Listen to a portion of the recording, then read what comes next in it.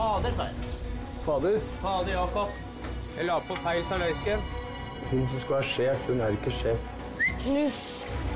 Altså, det tonefallet der gjør ikke oss mindre stressa, da.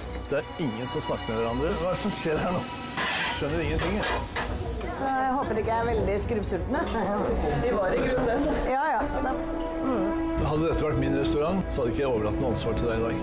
Hellstrøm rydder opp. I kveld 21.30 på TV3.